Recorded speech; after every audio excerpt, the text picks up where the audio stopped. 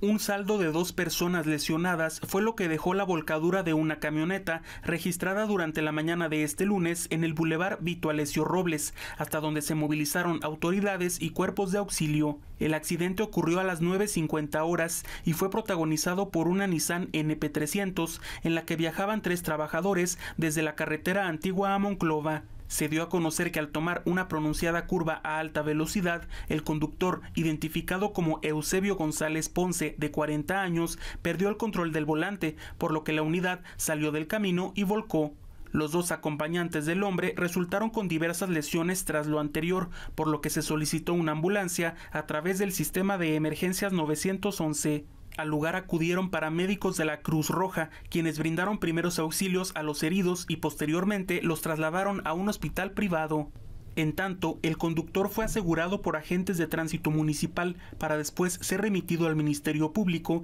mientras se determina su situación, informó para Telezócalo Augusto Rodríguez.